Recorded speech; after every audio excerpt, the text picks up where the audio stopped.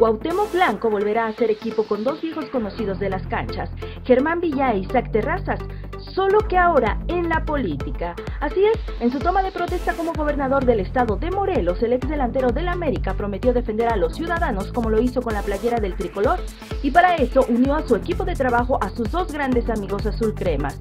No les voy a fallar, voy a defender Morelos como lo hice con la camiseta de la selección, dijo Blanco. Villa fungirá como director estatal del Instituto del Deporte. En tanto, Terrazas estará al frente del fideicomiso del Estadio Agustín Coruco Díaz, donde juega el Zacatepec. Blanco también hará mancuerna con el ex silbante Gilberto Alcalá, quien será secretario de Desarrollo Social. Cabe recordar que el ídolo de las Águilas ya había sumado a su equipo a José Manuel Sanz, quien fuera representante de jugadores como Rafa Márquez.